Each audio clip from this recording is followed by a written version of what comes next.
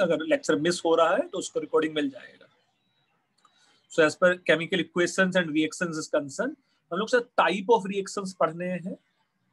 Including depending on the heat will see कि endothermic reaction हो सकता है एक्सोथर्मिक रिएक्शन हो सकता है। Depending on the rate of reaction reaction slow हो सकता है रिएक्शन फास्ट हो सकता है।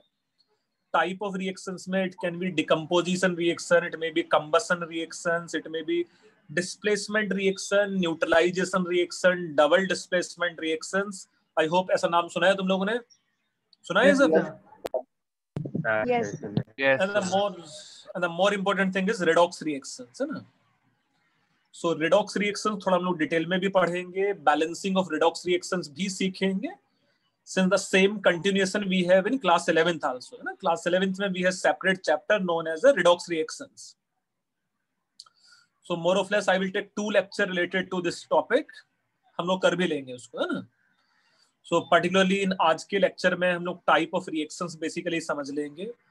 uh, कुछ ऑक्सीडेशन नंबर्स के रिलेटेड चीज़ें समझ लेंगे और नेक्स्ट लेक्चर में बैलेंसिंग ऑफ़ रिडॉक्स रिएक्शन से रिलेटेड पढ़ लेंगे है ना? सो so, अभी देखो सब बच्चों को मेरा बोर्ड दिखाई देगा जिसपे मैं लिखूँगा। थोड़ा सब बच्चों को बोर्ड दिखाई दे रहा है? हाँ sir okay so first topic is let's say we'll see type of reactions or equations right? let's say type type of reactions so first classification is you can say depending depending on net heat exchange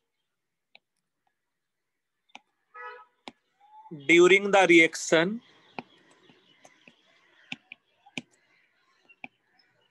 they may be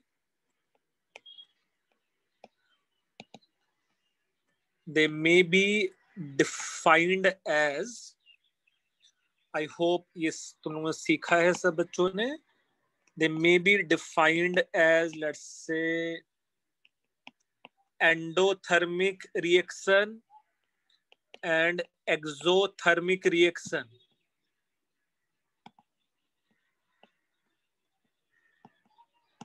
ये बच्चे सीखा है कि नहीं ऐसा? हाँ, अच्छा। Endothermic means here let's say heat is absorb and here let's say heat is released for example, here you can say, let's say melting of ice उसमें हम लोग को latent heat of ice supply करना पड़ेगा effectively and this example may be let's say suppose we have condensation of vapour जैसे ऐसा कुछ सीख सकते हैं ना हम लोग? एंडोथर्मिक रिएक्शन एक्सोथर्मिक रिएक्शन है ना? एक में हीट हम लोग को सप्लाई करना पड़ता है एक में हीट रिलीज़ होना होता है। Usually combustion reaction is found to be endothermic और exothermic so you can say usually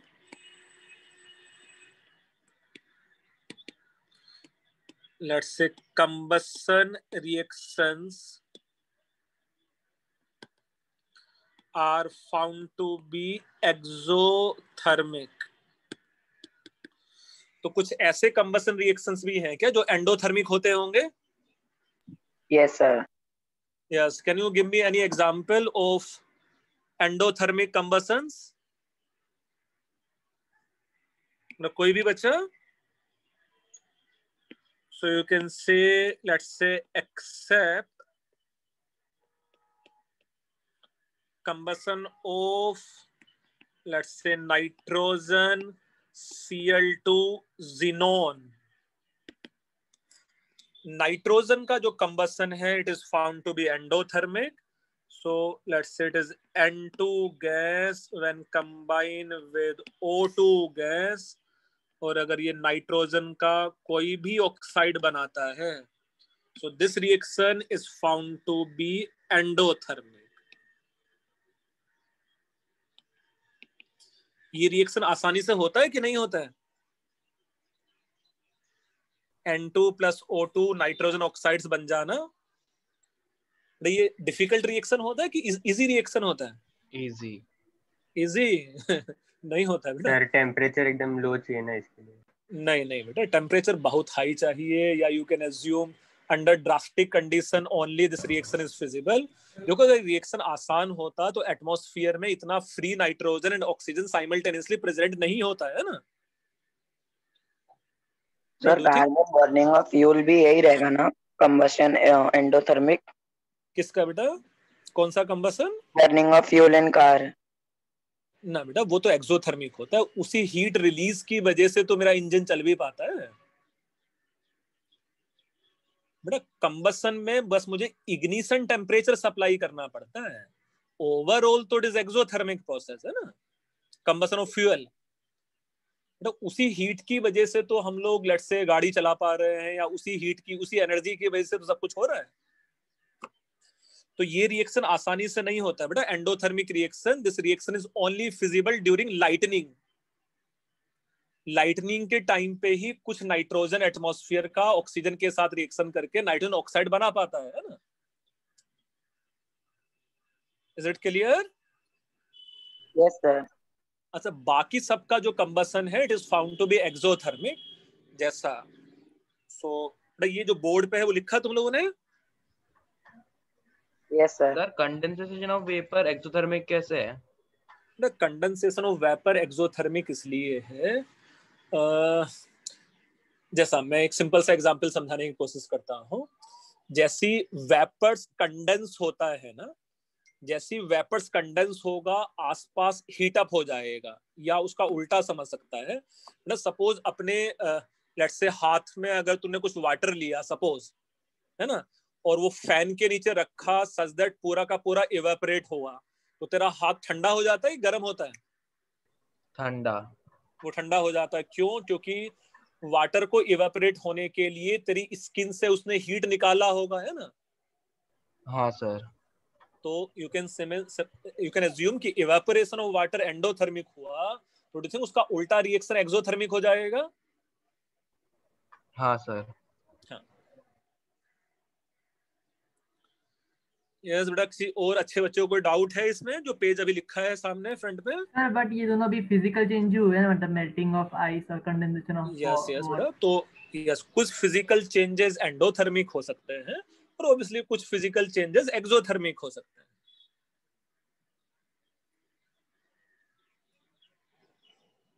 is it clear sir मतलब ऐसे ही अगर जनरली डिफरेंस पूछा तो उसमें हम लोग ऐसा लिख सकते हैं क्या? मतलब प्लस और माइनस ट्रायंगल से डिनोट होता है, वो डिफरेंस में काउंट होता है।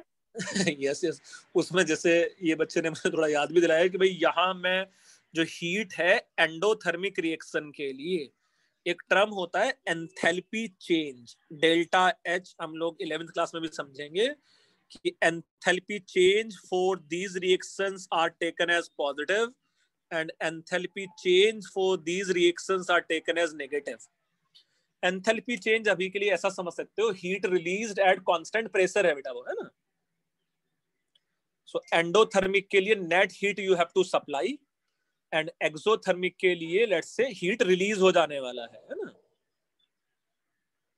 ओके सर ये भी लिख सकते हो तुम लोग combustion of fuel combustion of fuel is exothermic no combustion of fuel is exothermic reaction जैसा इन जनरल बेटा हाइड्रोकार्बन किसको बोलते हैं हम लोग? Hydrocarbon?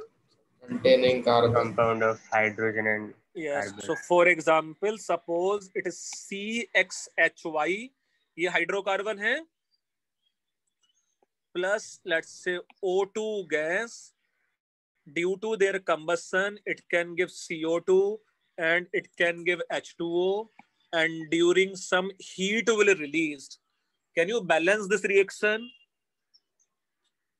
मतलब तुम लोग मुझे ऑक्सीजन का कॉफिशियंट बताओ बेटा, कितना आएगा इसमें?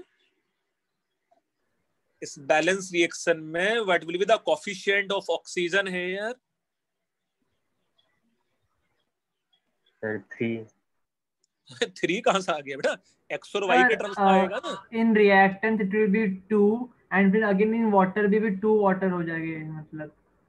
ना ना बेटा थोड़ा ध्यान से देखो। थोड़ा कुछ डिफरेंट चीज़ें समझ रहे हो बेटा? सी एक्स एच वाई है बेटा ये कोई वन या टू नहीं है।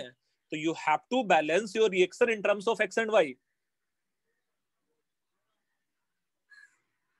जैसा अगर मैं सिंपल बैलेंसिंग कर या जैसे मुझे सिंपल अगर बैलेंसिंग करना है so left hand side we have how many carbon atom X तो sir it will XCO2 do you think product side भी मेरे पास एक्स होना चाहिए? Sir then O2 will also become XO2 Aparna बेटा ये x equal to one Y equal to four क्यों लिखा है तुमने अपने आप से ही? बेटा वो तो सिर्फ़ मिथेन के लिए होगा ना। अगर मैं जनरल हाइड्रोकार्बन लिखना चाहूँ तो सी एक्स एच वाई नहीं लिख सकता हूँ? तो सर X तो वाई कार्बन होगा ना। तो ये कैन बी से जो H2O होगा वो बाई बाई टू हो जाएगा?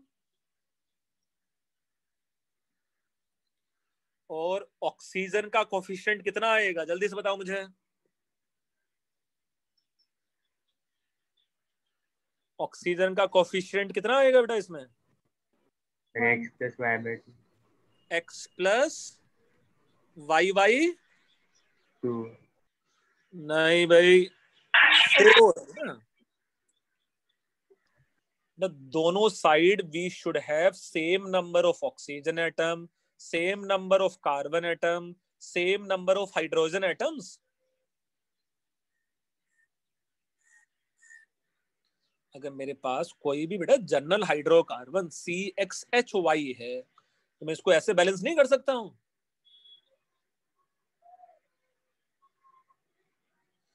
इस बैलेंसिंग को समझने में किसी बच्चे को कुछ है तो पूछ लो बेटा। अरे बार वापस समझाओगे इसको? करो ना मतलब। अच्छा चलो पहले वो समझ में आ रहा है? चलो मैं फिर से बताता हूँ बेटा ध्यान से देखो। चलो इसको मैं हटा देता हूँ अभी। ये समझ में आ रहा है कि अगर मेरे पास कार्बन एक्स है तो मेरे पास प्रोडक्ट साइड में भी एक्स सीओ टू होना चाहिए? यस सर वेरी गुड चलो हाइड्रोजन रिएक्टेंट साइड में अगर वाई है तो डू थिंक प्रोडक्ट साइड में भी वो वाई होना चाहिए? तो Y by two H two O करेंगे तो वाई है ना basically hydrogen yes no yes sir yes sir चलो अब ये देखते हैं देखो प्रोडक्ट साइड में we have how many hydrogen how many oxygen atoms तो डू थिंक मेरे पास सारे जो ऑक्सीजन एटम है सब मिला के वो two X plus Y by two है कि नहीं है? Number of oxygen atoms product side में? यस सर अच्छा रिएक्टेंट साइड में भी इतने ही नंबर ऑफ़ एटम्स होने चाहिए।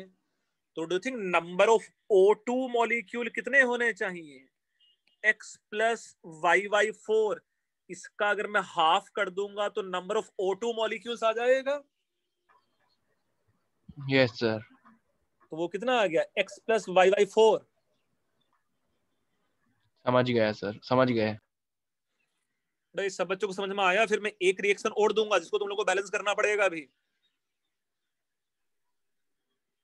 चलो मेरे लिए एक और बैलेंसिंग करके दिखाओ। सिंपल है ना एटम्स का बैलेंसिंग सर थोड़ा एक और बार समझाओ ना थोड़ा नेटवर्क इशू था समझा नहीं। चलो मैं बेटा ये दूसरा वाला एग्ज़ाम्पल करो शायद उससे थोड़ा और समझ में आ जाएगा देखो है ना? Okay sir. और फिर नहीं आएगा तो फिर से समझाऊँगा रुको है ना? C N H two N plus two ये किसका जनरल फार्मूला होता है. वेरी गुड चलो एल्केन का भी अगर मैं कंबसन करूँगा O2 के साथ तो डू थिंक यहाँ मेरे पास CO2 बनेगा? ऑब्वियसली यहाँ मेरे पास H2O बनेगा और ऑब्वियसली यहाँ हीट रिलीज़ हो जाएगा है ना? चलो देखो इसको बैलेंस करते हैं तो शायद समझ में आ जाएगा। How many carbon atom on both side in this case N And तो डू थिंक इसको मुझे n से मल्टीप्लाई करना पड़ेगा? यस सर अच्छा। H2O का कोफिशिएंट क्या होगा बच्चे? H2O का कोफिशिएंट n मतलब plus 1 number very good so it should be n plus 1 so both side hydrogen will be 2n plus 2 है ना? यस सर आप ज़रूर जल्दी से मुझे बताओ यार O2 का कोफिशिएंट क्या आएगा? Sir two N plus two क्यों नहीं होगा? किसमें सर प्रोडक्ट साइड में। हाइड्रोजन का? हाँ सर बेटा ये चेक कर लेना यहाँ नंबर ऑफ़ हाइड्रोजन एटम्स देखो। यहाँ मेरे पास जो नंबर ऑफ़ हाइड्रोजन एटम्स हैं वो टू एन प्लस टू है कि नहीं है? है और सर यहाँ भी देखो मेरे पास number of hydrogen atom twice of N plus one है कि नहीं है? हाँ सर हो गया सर ठीक है? अब चलो ऐसा ही ऑक्सीजन के मुझे सब सेम करो और ऑक्सीजन का कोफिशिएंट बताओ कितना आएगा? यस अदिना थोड़ा सही you. Think Two ये आएगा three N plus one divided by two yes sir. भाई मैं number of oxygen atom check कर लू ना प्रोडक्ट साइड में भी देखो।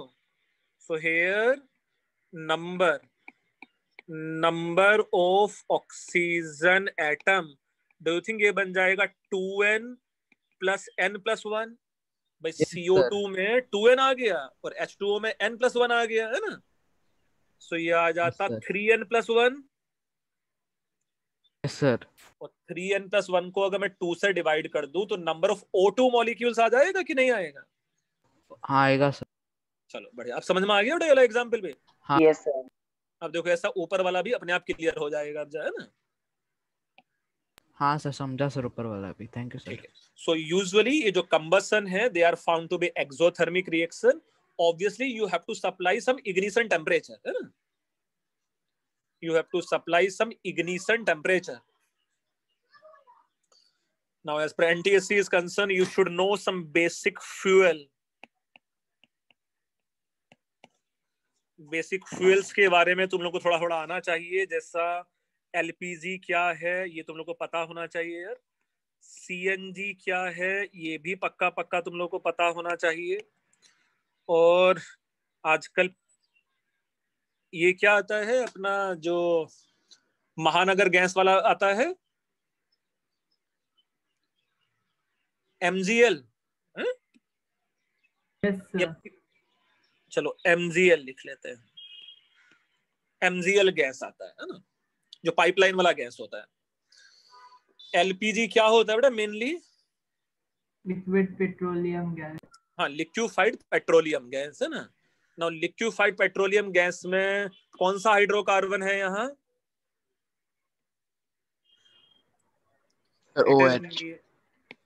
It is nearly seventy five percent butane and twenty five percent propane C N G जो compressed natural gas है it is more than 90% Methane. Methane है ना? और महानगर गैस में कौन सा होता है? महानगर गैस में mainly it is propane Mahanagar gas में mainly mainly it is propane gas. Clear है? यस सर तो आई होप एक एंडोथर्मिक रिएक्शन क्या है एक एक्सोथर्मिक रिएक्शन क्या है वो समझा तुम लोगों ने है ना? सर एमजीएल में मीथेन होगा ना? किसमें बेटा? महानगर में? हाँ। ना ना महानगर में एम फॉर मिथेन नहीं है बेटा है ना? महानगर गैस में प्रोपेन होता है बेटा मेनली है ना?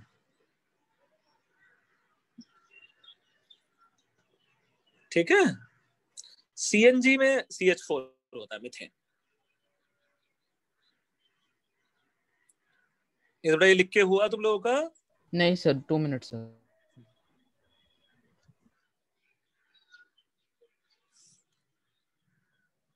और ऐसा ही वाटर गैस किसको बोलते हैं यार?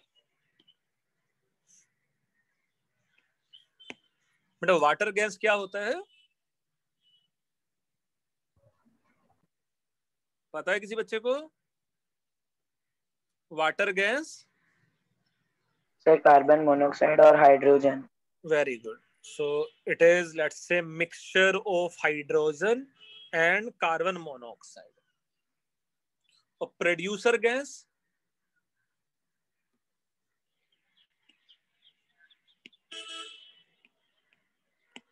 प्रोड्यूसर गैस किसको बोलते हैं वो N2 एंड CO होता है ना ये सब नाम सुने हैं कि नहीं सुने तुम लोगों ने इस टाइप का? सर प्रोड्यूसर गैस नहीं सुना। अच्छा ठीक है। ये लिख के हुआ है तुम लोगों का अभी? सर वन मिनट जी सर। सर एक बार वो three N plus one upon two oxygen का कोएफिशिएंट बताओ ना। बेटा दोनों side number of oxygen atom count कर ले बेटा। देखो चलो मैं यहाँ नंबर ऑफ़ ऑक्सीजन एटम्स कितने होंगे? जितने O2 के मॉलिक्यूल्स मल्टीप्लाइड बाय टू उतना होगा कि नहीं? नंबर ऑफ़ ऑक्सीजन एटम्स बेटा हर एक Yes, sir. O2 मॉलिक्यूल में दो एटम है। तो इसको मैं थ्री एन प्लस वन लिख सकता हूँ कि नहीं? Number of oxygen atoms yes और देखो प्रोडक्ट साइड में भी उतना ही है। कैसे पता चला? Twice of N from CO two and N plus one from H2O got it sir हाँ ठीक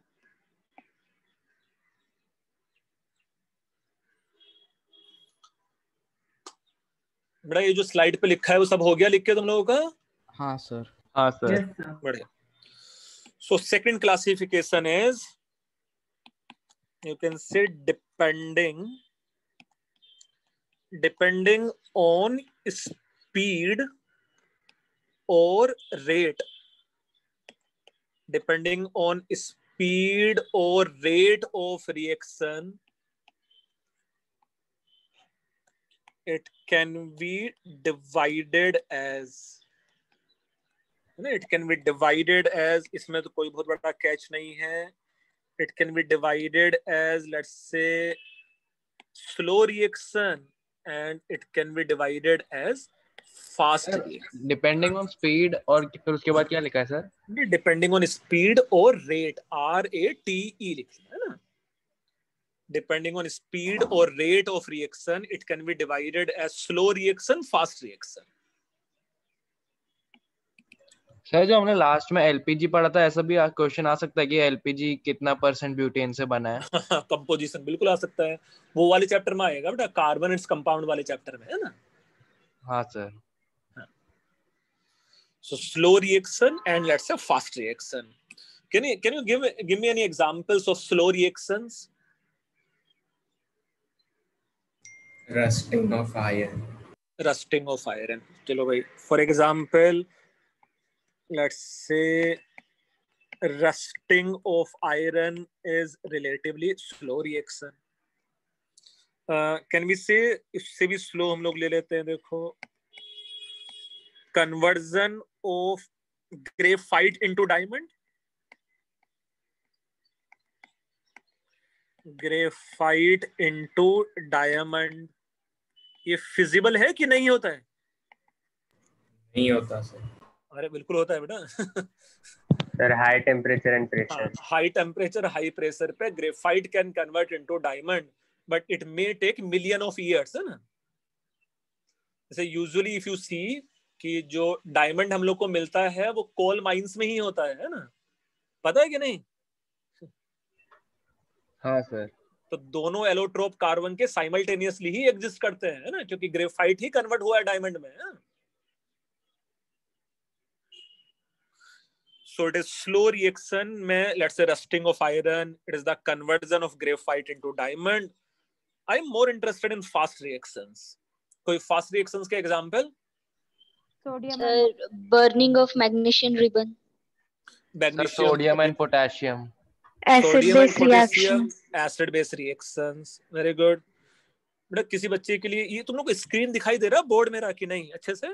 दिखाई हाँ दे रहा है दिखाई दे रहे ये बेटा जिन बच्चों के लिए ब्लैक दिख रहा हो ना बोर्ड तो वो मतलब क्या कर सकते हैं? लीव करके फिर से ज्वाइन कर सकते हैं है ना? मेरे एंड से एकदम सही दिख रहा है मुझे बोर्ड अच्छा मैं एक एक एग्जांपल बताता हूँ।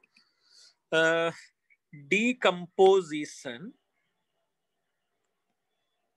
डीकम्पोजिशन ऑफ़ ये कंपाउंड का क्या नाम होता है बेटा? B A N three twice क्या है इस कंपाउंड का नाम? बेरियम अजाइड अच्छा ये देखो उस बच्चे ने पढ़ा हुआ पहले।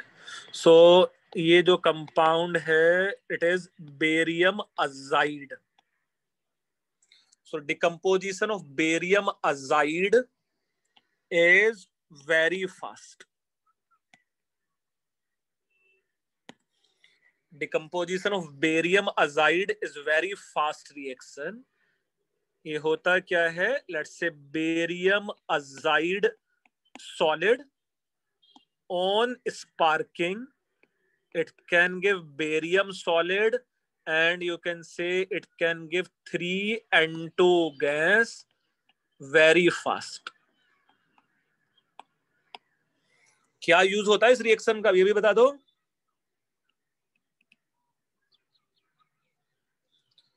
इस रिएक्शन का क्या यूज़ करते हैं हम लोग? बहुत फास्ट है ये रिएक्शन है ना? इस रिएक्शन की वजह से मैग्नीशियम और ये सब के साइड्स नहीं नहीं ये इस रिएक्शन की हेल्प की वजह से air very good very good very good so it is this reaction is used in let's say car airbags. Aeroplane emergency क्या बोलते हैं उसको? लैंडिंग तो नहीं बोलूँगा मैं। लैंड होने के बाद बाहर अगर भाग उतरना है तो है ना? क्या बोलते हैं वो तो? इमरजेंसी एग्जिट फ्लोट होता है वो।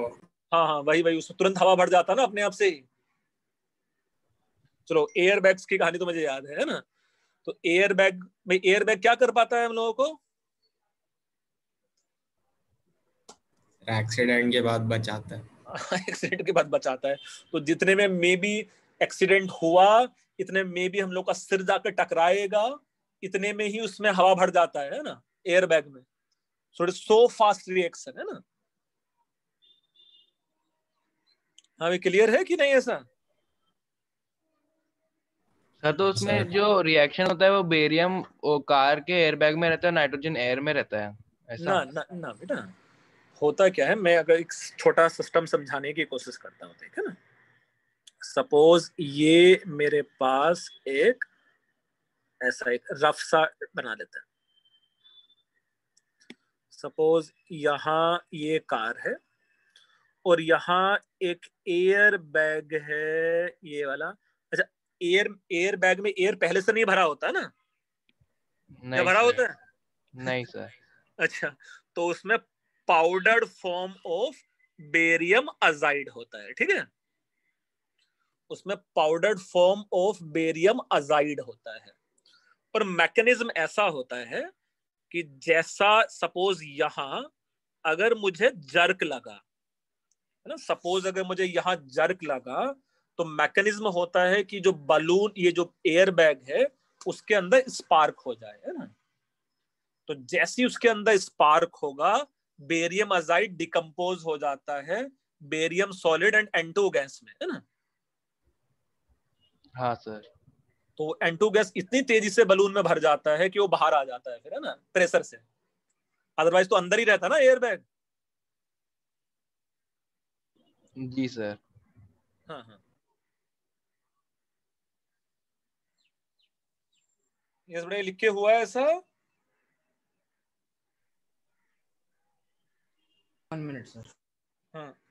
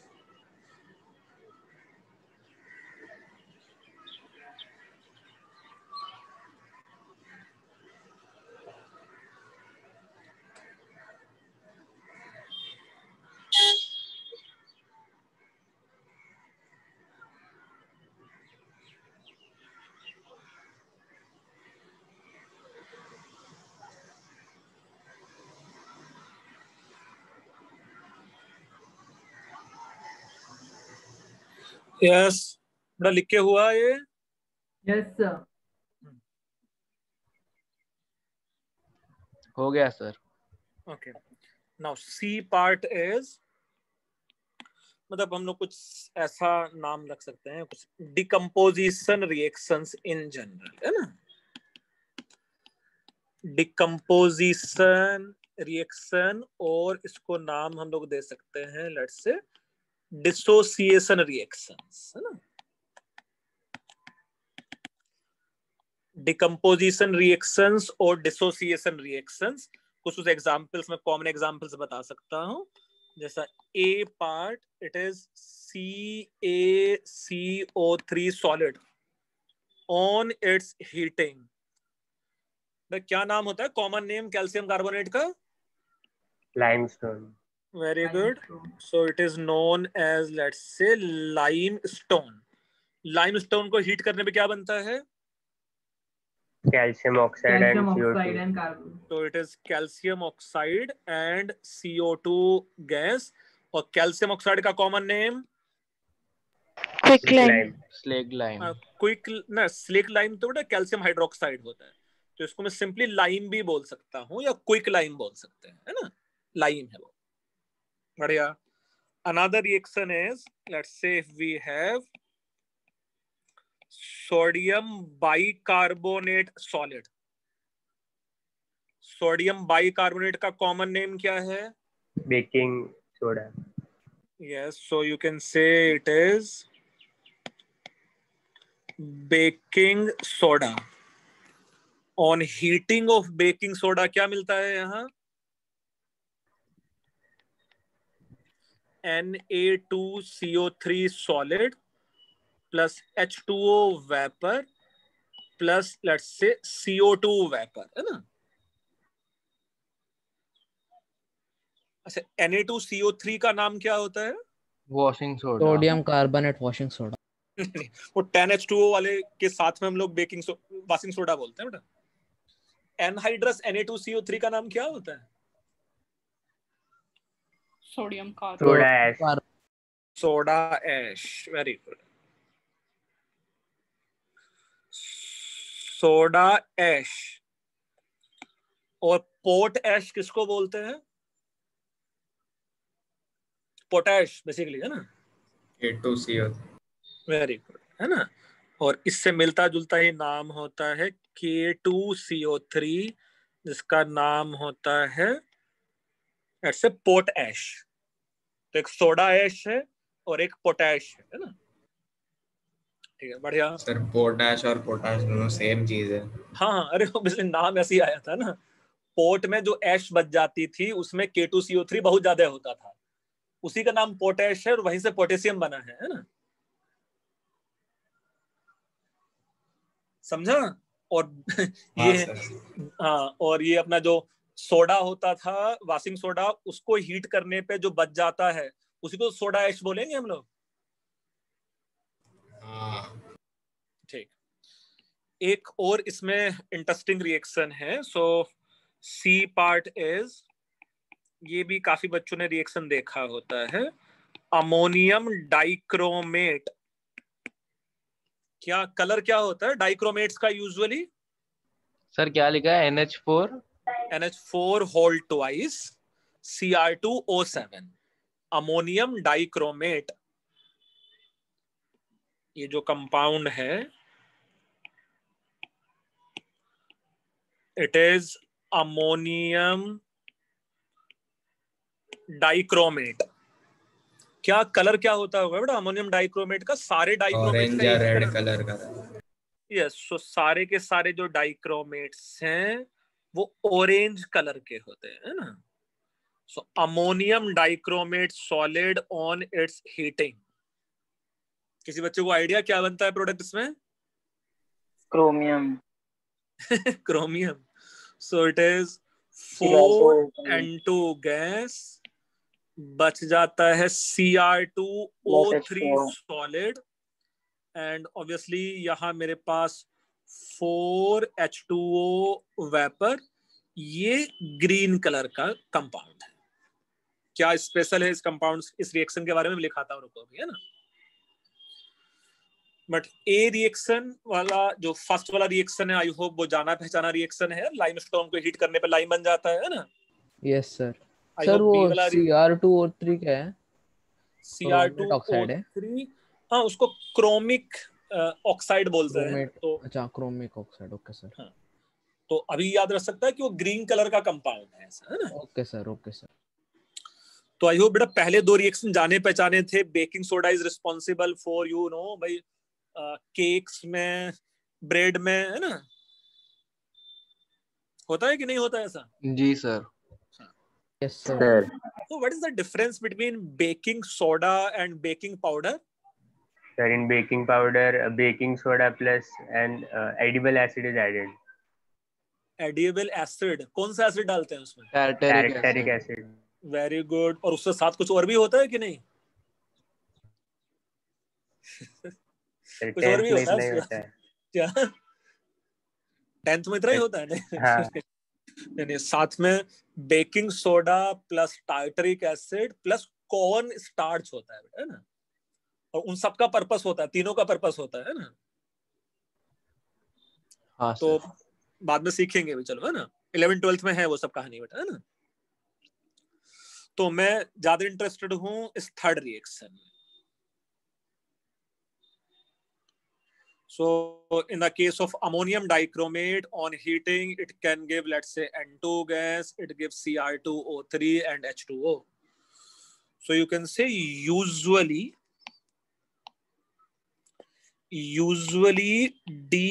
decomposition reaction usually decomposition reaction are found to be क्या होता है endothermic exothermic exothermic are found to be endothermic मतलब हीट करना पड़ता है ना हम लोगों को। Are found to be endothermic for example calcium carbonate को हम लोग हीट करेंगे तो calcium oxide and CO2 gas बनता है ना?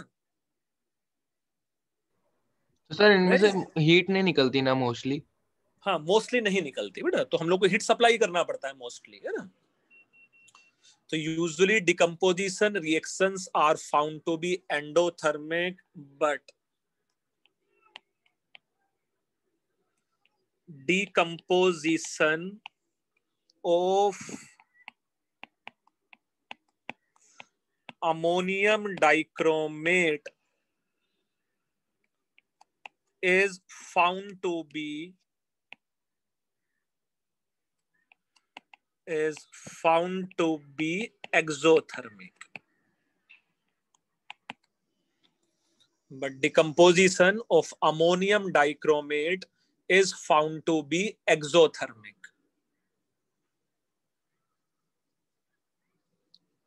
तो ये जो डिकम्पोजिशन है it is found to be exothermic क्या यूज़ कर सकते हैं हम लोग इसका?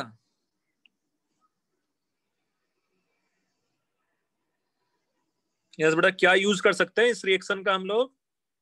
इस इंटरेस्टिंग क्वालिटी से या इस इंटरेस्टिंग प्रॉपर्टी की हेल्प से?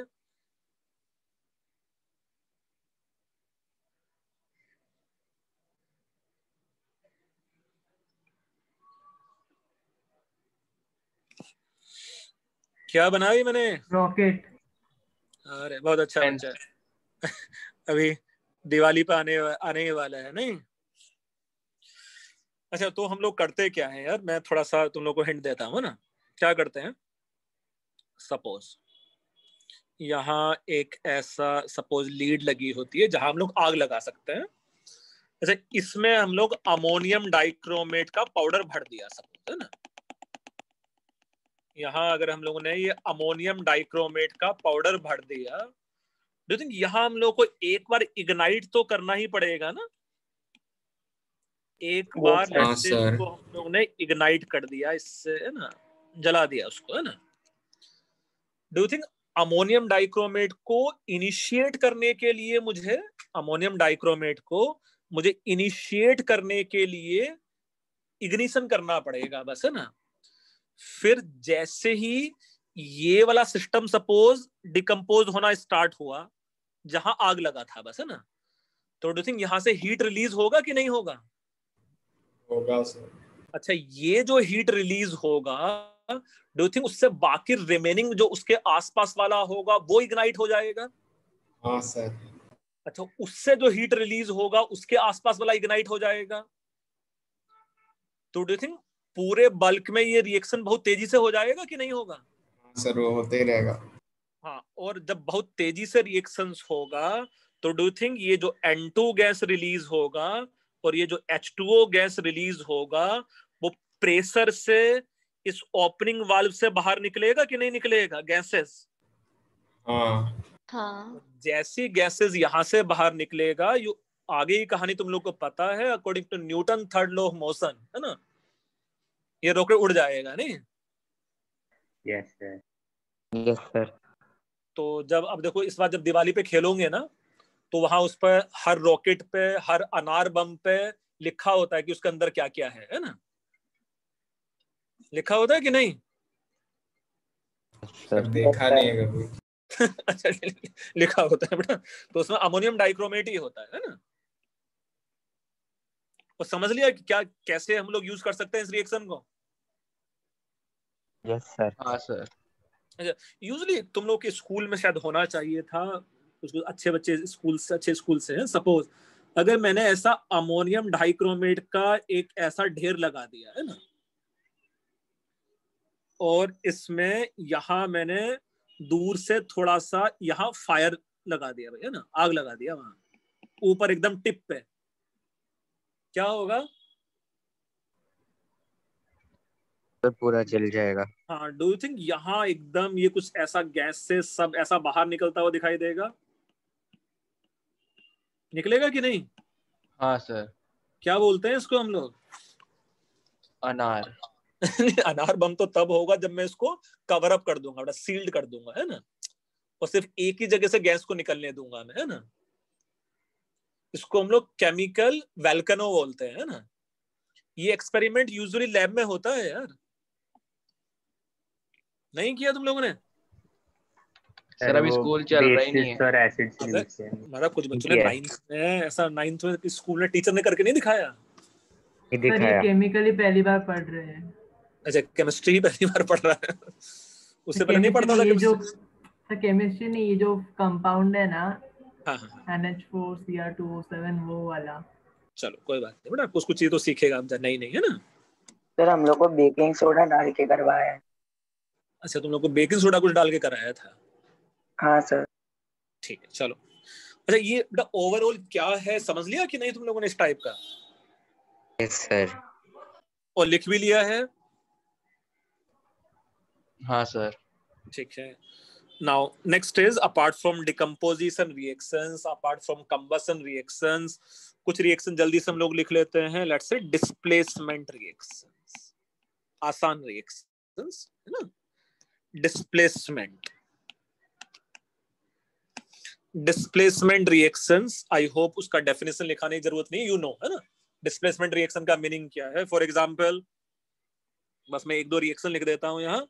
Suppose if it is magnesium magnesium when treated with या मैं एक common example लिखता हूँ suppose if it is zinc when treated with dilute H2SO4 क्या रिएक्शन होता है इसमें ZnSO4 plus H2 Zinc sulfate and hydrogen. So zinc sulphate का एक्वा सॉल्यूशन बन जाता है और हाइड्रोजन गैस बन जाता है। This reaction is use in laboratory preparation of hydrogen gas पढ़ा है ये प्रिपरेशन मेथड ये था यार कभी एट्थ नाइन टेंथ में है ये सब है ना? हाइड्रोजन गैस का प्रिपरेशन में है ना? अच्छा इस रिएक्शन में हम लोग प्योर जिंक लेते हैं कि नहीं लेते हैं? लेते हैं सर पक्का? अगर प्योर जिंक लेते हैं तो रिएक्शन नहीं होता है। किसी बच्चे को रीजन पता है?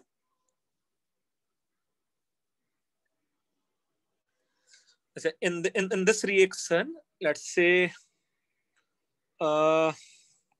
you can say zinc granules या zinc with impurity. Zinc with impurities of CuSO4 is taken. ये तुम लोग के शायद बुक्स में लिखा होता था zinc granules which consist impure zinc when treated with dilute H2SO4 कुछ ऐसा नहीं?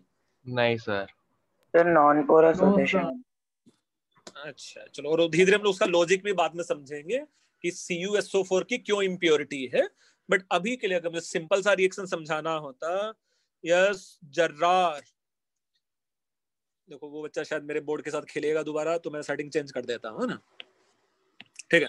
सो जिंक प्लस डाइल्यूट H2SO4 अच्छा instead of dilute H2SO4 if it is concentrated H2SO4 तब भी सेम ही रिएक्शन होगा क्या? नहीं सर तब क्या होता है? स्लो रिएक्शन नहीं नहीं नहीं. But with concentrated H2SO4 let's say zinc plus concentrated H2SO4 तो किसी बच्चे को शायद आइडिया ZnHSO4 क्या बेटा? ZnHSO4 ना ये ZnH नहीं बनता बेटा ये जिंक सल्फेट ही बनता है plus SO2 gas plus H2O बन जाता है। उसमें हाइड्रोजन गैस का प्रोडक्शन नहीं होता है है ना?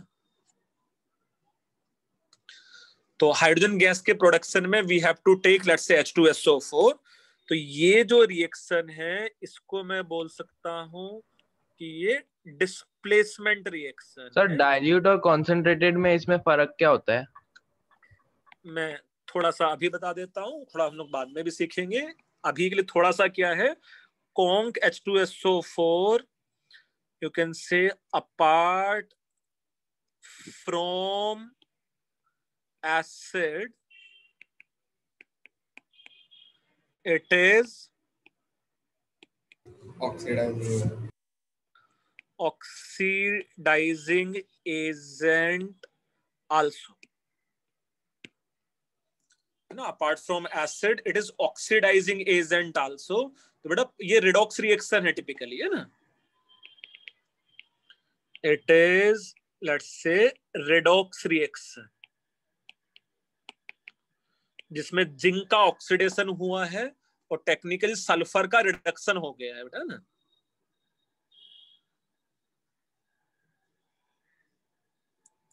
क्लियर है? कुछ तो एक्स्ट्रा. इंफॉर्मेशन मिल रहा है तुम लोगों को कि नहीं? मिल रहा है सर चलो अच्छी बात है हाँ? पर सर कॉन्सेंट्रेटेड H2SO4 में H2SO4 का क्वांटिटी ज़्यादा होगा ना? यस बेटा कॉन्सेंट्रेट का मीनिंग वही होता है कि relatively same amount of water में ज़्यादा H2SO4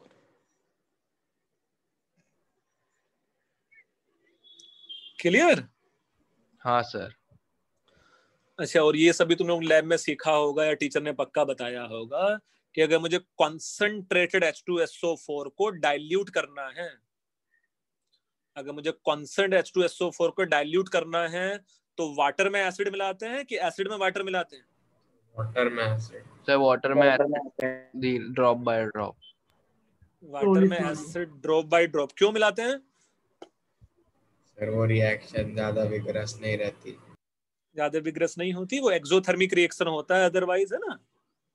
हाँ सर नहीं तो फिर वो फूट जाएगा ब्लास्ट हो जाएगा। ब्लास्ट नहीं होगा तेरे हाथ पे उछल के एसिड गिर जाएगा बेटा है ना? हाँ और वो डेंजरस होता है ना? ठीक है। सो नेक्स्ट में ये तो हुआ नॉर्मल डिस्प्लेसमेंट रिएक्शन ऐसा ही you know double displacement reaction है सर प्योर जिंक क्यों नहीं लेते? कौन सा बेटा? पिछले वाले रिएक्शन क्यों नहीं लेते? किसी बच्चे को आइडिया सर शायद वो रिएक्ट इम्प्योरिटीज रिएक्शन को स्पीड कर देता है शायद। नहीं नहीं नहीं बेटा। चलो मैं थोड़ा सा लॉजिक समझाता हूँ। समझने की कोशिश करना। ये निचला रिएक्शन लिख लिया कि नहीं? कि कॉन्ग एच टू फोर के साथ क्या रिएक्शन है? सर लिख लिया sir. लिखा? चलो मैं समझाता हूँ कि भाई अगर मैं प्योर जिंक लेता हूँ या इस रिएक्शन में टेक्निकली होता क्या है? जैसा यू कैन सिंपली इमेजिन कि सपोज़ मेरे पास ये डाइल्यूट H2SO4 था यहाँ। ये मेरे पास dilute H two S O four था और ये सपोज़ मैंने जिंक के पीसेस इसमें डाल दिए होते। तो डू थिंक ये रिएक्शन होता है भाई zinc plus dilute H two S O four will give Z S O four and hydrogen gas तो यहाँ से कुछ हाइड्रोजन गैस तो बबल्स बन के लेट से बाहर आ जाता है ना हाइड्रोजन गैस बट अनफॉर्चुनेटली कुछ हाइड्रोजन गैस इस जिंक की सरफेस के ऊपर एक थिन प्रोटेक्टिव लेयर बन जा, बना लेता है। एक थिन लेयर बना लेता है कुछ हाइड्रोजन गैस इसके ऊपर विच प्रिवेंट फर्दर रिएक्शन है ना? ये मेरे पास जिंक एंड जिंक है। So it prevent further reaction तो डू थिंक थोड़ा बहुत तो हाइड्रोजन गैस प्रोड्यूस होता और उसके बाद रिएक्शन रुक जाता? बड़ा समझ में आ रहा है क्या बोला तुम लोगों को? हाँ सर समझ में आ रहा है। अच्छा अब अगर मैं सी यू अब मैं अगर C U S O four ले लेता हूँ with with CuSO4 as impurity. CuSO4 क्या होता? इस हाइड्रोजन के साथ रिएक्शन कर लेता जो लेयर बन गया था। कौन ज़्यादा रिएक्टिव होता है? कॉपर की हाइड्रोजन रिएक्टिविटी सीरीज़ में? सर अभी जो आपने पहले जिंक लिया था वो प्योर था। हाँ और अगर मैं अगर मैं CuSO4 की इम्प्योरिटीज ले लूँ अगर साथ में है ना? तो होता क्या है ये जो हाइड्रोजन का लेयर भी बन गया था वो हाइड्रोजन का लेयर उस इम्प्योरिटी के साथ रिएक्शन कर लेता है। रिएक्टिविटी या एक्टिविटी सीरीज़ में बेटा पढ़ा है ये कि कॉपर हाइड्रोजन से भी नीचे होता है? मीन्स हाइड्रोजन भी कॉपर को डिस्प्लेस कर देगा। हाँ। तो डू थिंक वो जो हाइड्रोजन का लेयर बना था वो डिसअपियर हो जाता? हाँ सर। तो हाइड्रोजन का लेयर डिसअपियर हो जाता और जिंक कंटिन्यू फर्दर रिएक्शन कर सकता था।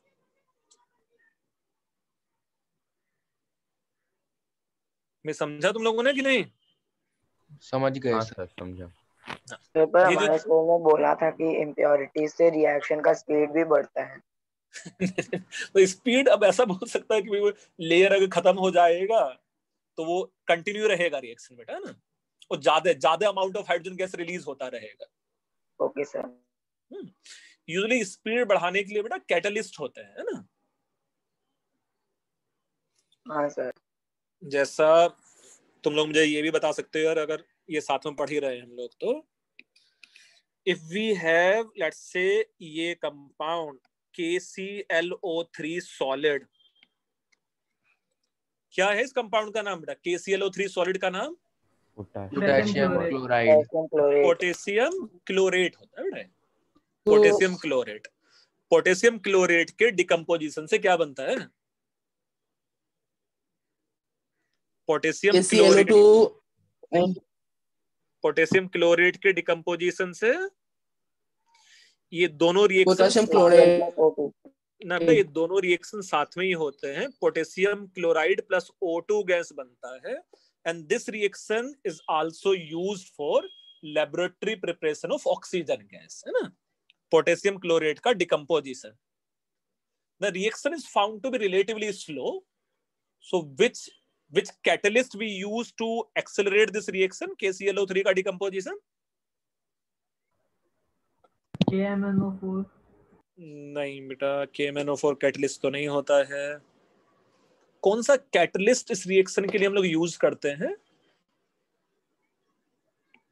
Manganese oxide very good so it is MnO2 is used as catalyst for given reaction है ना? मैग्नीज मैग्नीज ऑक्साइड उस रिएक्शन के लिए कैटलिस्ट होता है बेटा। KClO3 का डिकम्पोजिशन जैसे नाइन टेंथ में होता है ना ये reaction preparation of oxygen gas preparation of hydrogen gas हाँ sir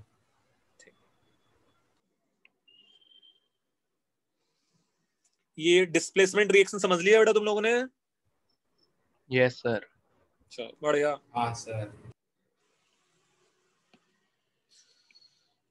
from let's say uh, decomposition reaction displacement reaction next is you can say it is neutralization reaction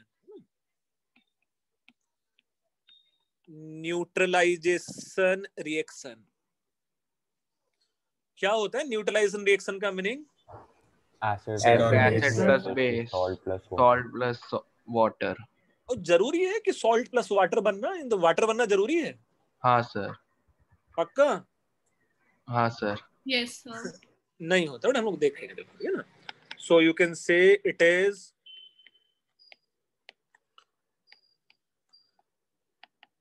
it is reaction of acid and base. ये confirm है ना? जैसा आसान सा भाई। सबसे आसान रिएक्शन तो यही है कि भाई HCl का अगर एक्वस सॉल्यूशन मैंने NaOH के एक्वस सॉल्यूशन से रिएक्शन कराया तो ये क्या बन जाता? N A C L aqueous plus ये बनता वाटर है ना? क्लोराइड हाँ सोडियम क्लोराइड प्लस वाटर बन जाएगा। ये रिएक्शंस एंडोथर्मिक होते हैं कि एक्सोथर्मिक होते हैं? Exothermic yes so you can say yes yes exothermic होता है बेटा। तो मैं ऐसा बोल सकता हूँ रिएक्शन ये जो न्यूट्रलाइजेशन रिएक्शंस है रिएक्शन इज़ रिलेटिवली फास्ट होते हैं एक तो ये फास्ट एंड एक्सोथर्मिक अब सपोज़ मेरे पास ऐसा रिएक्शन है, देखो NH3 गैस है, यहाँ HCl गैस है। NH3 गैस है और HCl गैस है let's say NH3 gas and HCl gas do you think ये बेस है और ये एसिड है।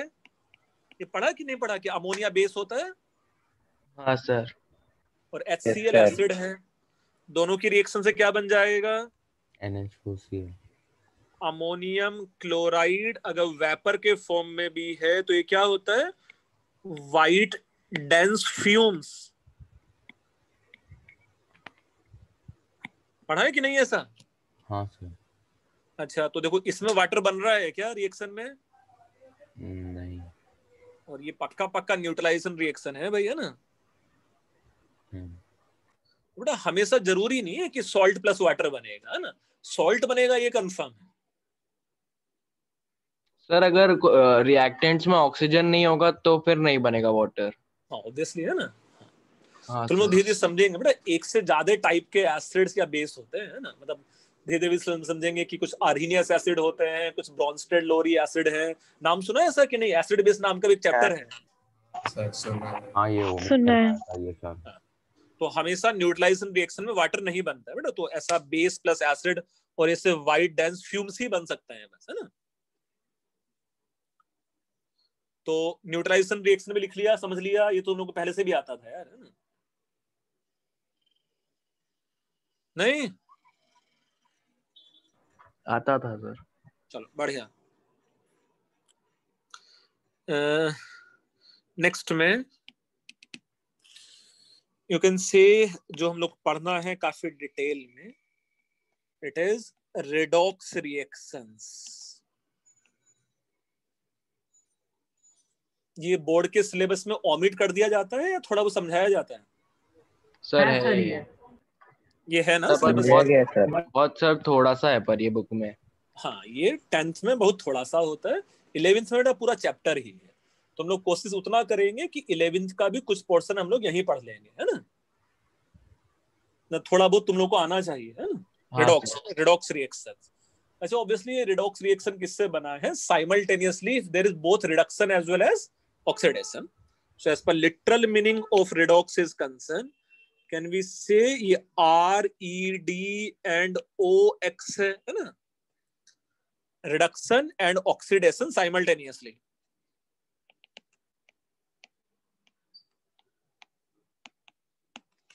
A reduction and oxidation simultaneously is known as redox reactions तो पहले तुम लोग मुझे बताओगे यार ये रिडक्शन का क्या मीनिंग होता है? सर ऑक्सीजन का या तो निकलना या हाइड्रोजन का जुड़ना। उसके अलावा of electrons. electrons gain of electron gain of electron very good so reduction का मीनिंग रिडक्शन है। रिडक्शन ऑफ़ ये टर्म तुम लोगों ने पढ़ा है कि नहीं पढ़ा है? ऑक्सीडेशन नंबर हाँ पढ़ा मैंने तो मैंने जिन बच्चों को पढ़ाया वो तो मुझे पढ़ा उन्होंने। रिडक्शन ऑफ़ ऑक्सीडेशन नंबर को हम लोग रिडक्शन बोल सकते हैं तो मैं कुछ कुछ पॉइंट्स लिख देते हैं चलो। ये एक डेफिनेशन है। Sir reduction of oxidation number मतलब? मैं मैं मैं लिखा समझाता हूँ पहले एक बार लिख लो। ऑक्सीडेशन नंबर हम लोग थोड़ा पढ़ना आज स्टार्ट कर लेंगे नेक्स्ट लेक्चर में भी पढ़ लेंगे उसको। So reduction of oxidation number it is gain of electron. It is you can say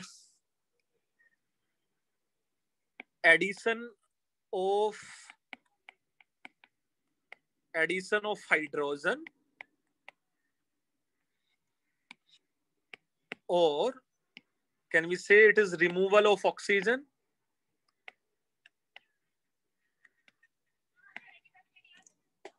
यही सब पढ़ा होगा ना तुम लोगों ने कुछ और भी टर्म पढ़ा है इससे रिडक्शन से रिलेटेड इतना अच्छा जैसा मैं एक एग्ज़ाम्पल समझाता हूँ देखो ना। फॉर एग्ज़ाम्पल जैसा suppose if it is cupric oxide is converting to copper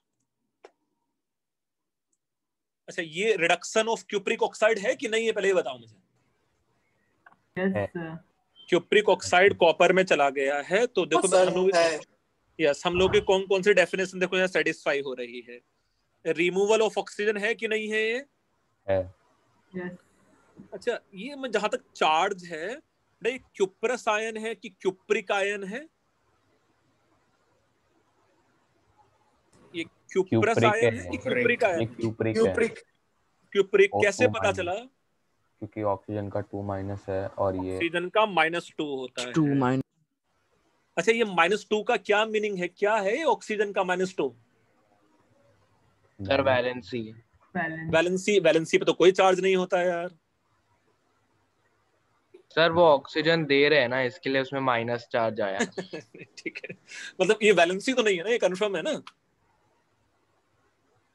अच्छा कॉपर यहाँ प्लस टू है।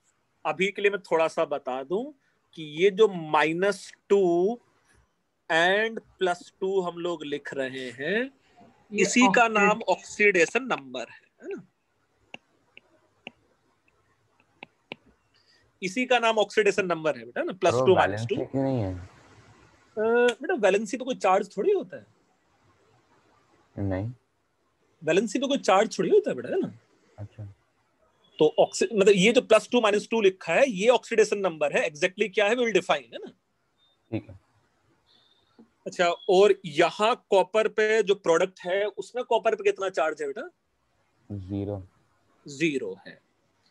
अच्छा तो मेरी ये वाली डेफिनेशन भी सेटिस्फाई हो रहा है क्या अब जा? Reduction in oxidation number of copper हाँ। हाँ सर टू से ज़ीरो कॉपर प्लस टू से ज़ीरो हो गया है है ना? अच्छा ये रिडक्शन कैसे हो सकता है? डू यू थिंक अगर copper two plus how many electron it will gain to convert into copper zero copper two plus को बेटा कितने इलेक्ट्रॉन गेन करने पड़ेंगे? टू इलेक्ट्रॉन तो देने पड़ेंगे ना।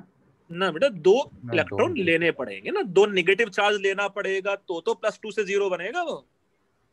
यस सर तो डू यू थिंक अब मेरे पास इस सेकंड वाली डेफिनेशन भी सेटिस्फाई हो रही है यहाँ? हाँ। चलो बढ़िया। ऐसा ही पहले कुछ हम लोग ऑक्सीडेशन की डेफिनेशन भी लिख लेते हैं। फिर रिड्यूसिंग एजेंट क्या है ऑक्सीडाइजिंग एजेंट क्या है वो थोड़ा सा हम लोग समझ लेंगे। अभी समझेंगे देखो काफ़ी कुछ है ना। यस इस डेफिनेशन में किसी बच्चे को डाउट है? नो सर नहीं सर ऐसा ही सपोज़ मैं एक और रिएक्शन लिख देता हूँ तुम लोगों के इंटरेस्ट के लिए कि भाई ये अगर एफ़ ई थ्री प्लस है और ये कन्वर्ट हो गया एफ़ ई टू प्लस में। सपोज़ मेरे पास फेरिक आयन है और वो अगर फेरस आयन में कन्वर्ट हुआ तो ये भी रिडक्शन है। How many electron it will gain one electron one electron one electron such that वो प्लस थ्री से प्लस टू बन जाएगा है ना? ये ये थोड़ा सा आइडिया है जिन लोगों को प्लस टू ज़्यादा स्टेबल होता है फेरस में कि प्लस थ्री ज़्यादा स्टेबल होता है।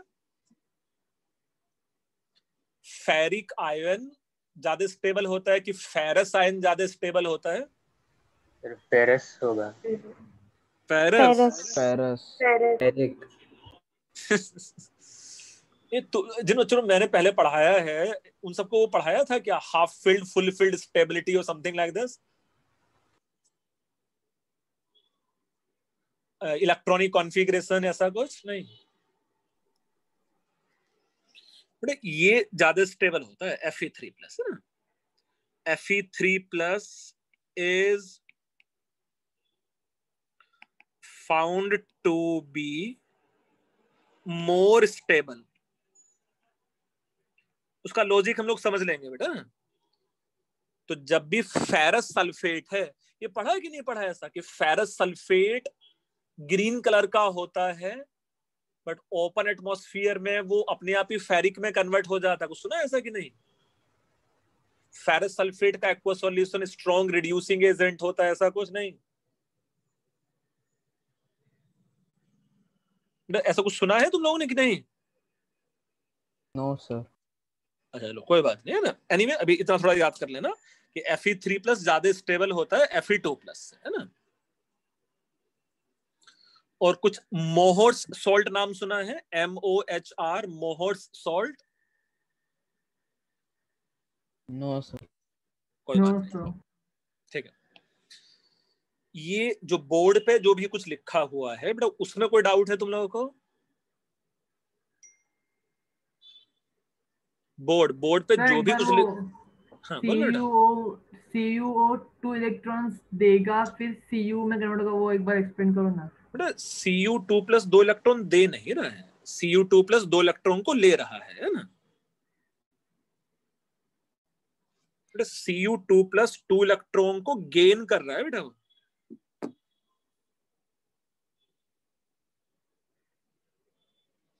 C U two plus two electron को गेन गेन कर रहा है बेटा वो। सर गेन करेगा फिर वो मतलब वो एटम बन जाएगा आयन से। यस अगर कैटायन है कैटायन टू प्लस है ना बेटा? तो अगर कैटायन टू प्लस दो इलेक्ट्रॉन गेन कर लेगा कैटायन अगर दो इलेक्ट्रॉन को गेन कर लेगा तो कॉपर बनेगा कि नहीं बनेगा? बनेगा सर हाँ वही वही लिखा है बेटा उसमें सर क्लियर है? यस yes, सर हाँ सर। ये लिख के हुआ है इतना?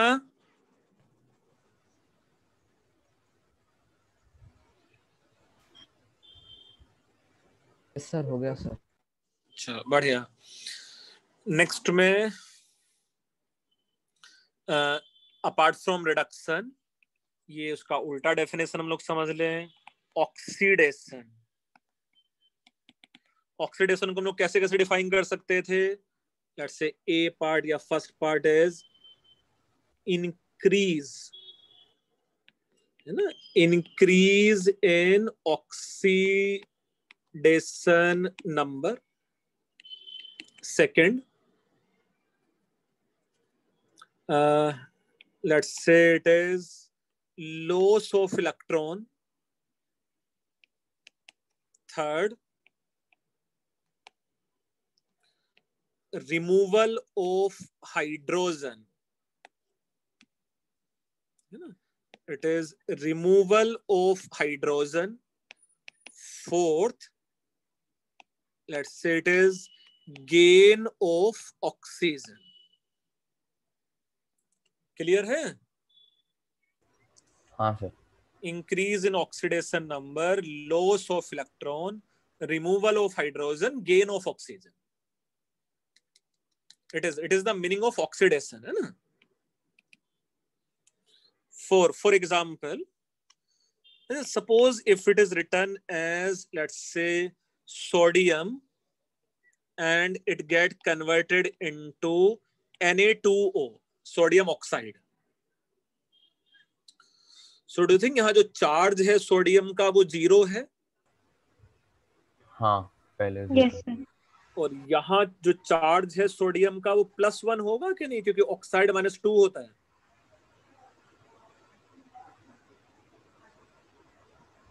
और अगर मैं सोडियम को यहाँ बैलेंस कर लू तो यहाँ two sodium atom on both side how many electron it will lose to convert from zero to plus one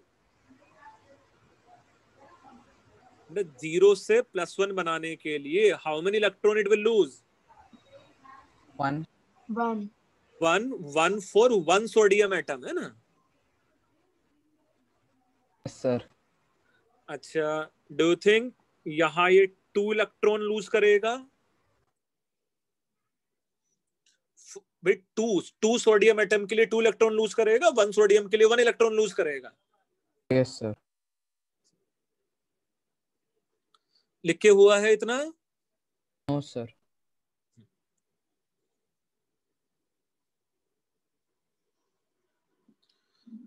अच्छा सिमिलरली सपोज़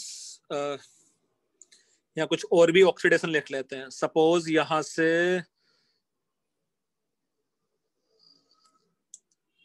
ऑक्सीडेशन में हम लोग कुछ ऐसा जिसमें रिमूवल ऑफ़ हाइड्रोजन हो जाए। जैसा यहाँ सपोज़ मैं ऐसा रिएक्शन लिख लेता हूँ। N H three is converting to N N2. NH3 converting to N2 and let's say we have two nitrogen atom on both side. Now, Can you suggest me what is what should be the charge of nitrogen in NH3? NH3 में nitrogen का charge कितना होगा one minus three by two minus three तो होगा क्योंकि hydrogen plus one होगा है ना यस सर अच्छा प्रोडक्ट साइड में जो N2 है उस पे नाइट्रोजन अकेले नाइट्रोजन का। हाँ बेटा सिर्फ़ नाइट्रोजन का माइनस थ्री है ना है ना? हाँ। ये माइनस थ्री होगा थ्री हाइड्रोजन मिला के होंगे तो ही तो न्यूट्रल मॉलिक्यूल बन रहा है। सर अच्छा प्रोडक्ट साइड में N2 का चार्ज कितना है बेटा? Zero zero so how many electron it has to lose for both nitrogen atom how many electron it has to lose for both hydrogen atoms? Six. Six six Six. it will lose six electron है ना? तो do think. इसमें इन दोनों examples में देखो ये definition ये definition तो सेटिस्फाई हो ही रहा है है ना? किसी एक में ये भी सेटिस्फाई हो रहा है किसी एक में ये भी सेटिस्फाई हो रहा है। यस और नो यस सर इसको भी लिख डालो बेटा।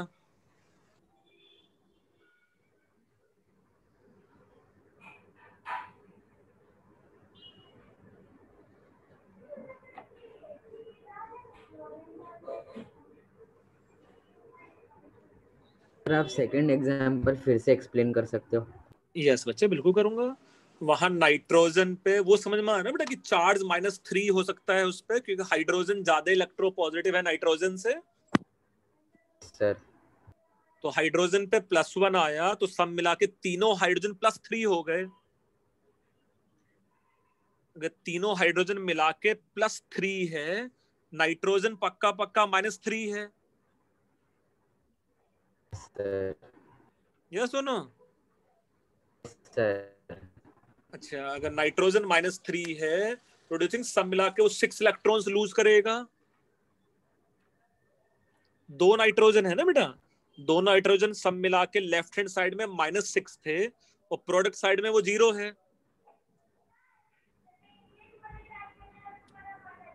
तो क्लियर है कि नहीं अभी? यस सर तो सब मिला के it will lose six electrons yes देखो, एक बच्चे ने मुझसे कुछ डाउट पूछा है। सर, वो सेकंड रिएक्शन में नाइट्रोजन का ऑक्सीडेशन नंबर क्या है?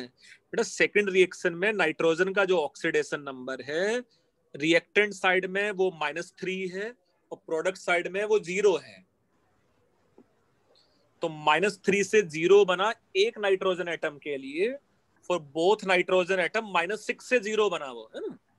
हाँ। हाँ सर। ठीक है। लिख के हुआ ये? हाँ सर। यस सर सो ये सिक्स इलेक्ट्रॉन्स जरा बताओ ना फिर से। बेटा ये चेक कर लेना देखो। दोनों नाइट्रोजन पे मिला के देखो कितना चार्ज हो गया यहाँ। माइनस सिक्स है कि नहीं है? यस सर अच्छा यहाँ दोनों नाइट्रोजन पे मिला के चार्ज कितना है? ज़ीरो ज़ीरो तो डू थिंक दोनों side minus six and minus six होना चाहिए? यस अंडरस्टूड ठीक बढ़िया।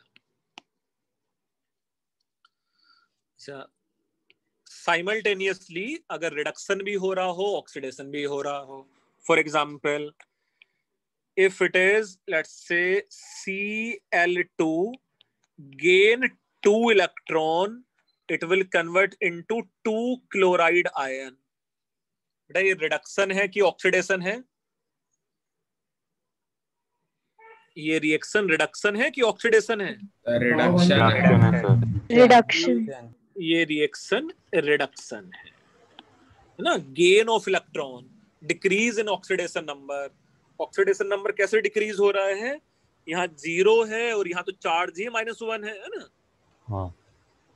अच्छा similarly suppose if we have reaction as two atoms of sodium let's say 2na converting to 2na converting to let's say 2na plus while losing two electron ये reduction है कि oxidation है oxidation so ये oxidation है sodium मेरे पास यहाँ zero oxidation number था और यहाँ से ये बन गया है plus one now if you add both reactions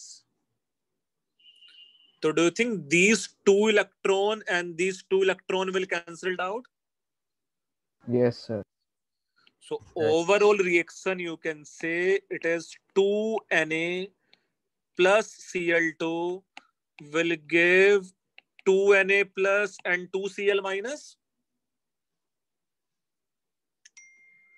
अब यहाँ आर ई डी और इसका यहाँ O X. Do you think ये ओवरऑल रिएक्शन हो जाता यहाँ? रिडॉक्स रिएक्शन यस सर इस रिडॉक्स रिएक्शन में सोडियम रिड्यूसिंग एजेंट है कि ऑक्सीडाइजिंग एजेंट है? रिड्यूसिंग एजेंट है as per definition of reducing agent क्या होता था? Which get oxidize to reduce other है ना? And C L two is oxidizing agent which get reduce itself to oxidize other है ना?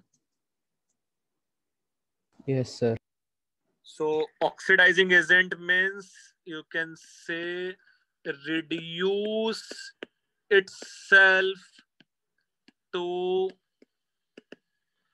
oxidize other. Reducing agent है let's say oxidize itself to reduce other. Yes or no? Yes sir sir बेटा definitions clear है सब बच्चों को? Reduction reducing agent oxidising agent reduction oxidation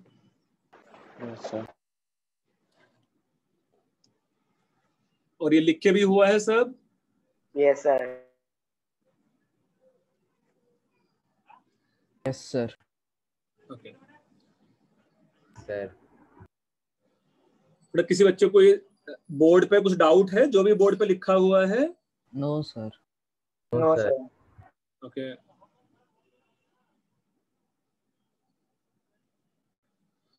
yes बेटा जो आज के लेक्चर में हम लोग जो भी कुछ सीखा उससे रिलेटेड कोई डाउट है तुम लोगों को?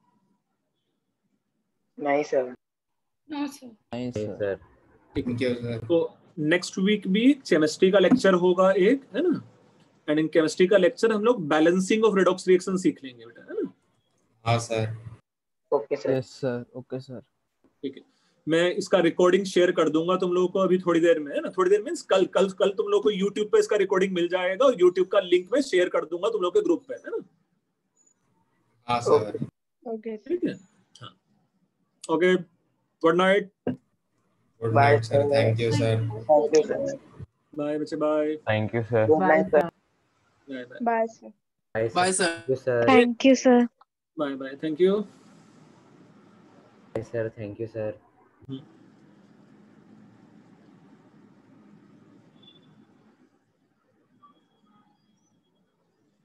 bye sir thank you sir bye bye बच्चे बाय Sir,